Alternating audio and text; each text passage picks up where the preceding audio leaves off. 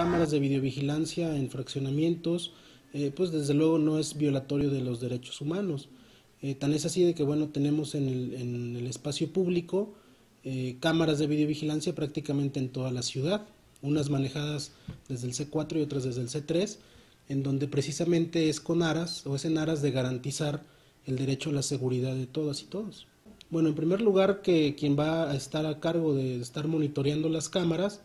sean si se trata de fraccionamientos privados, pues se trate de los eh, consejos de administración o de los que están encargados de la administración de los fraccionamientos. Desde luego, este, la limitante es eh, que no se vulnere o se trastoque el derecho a la intimidad,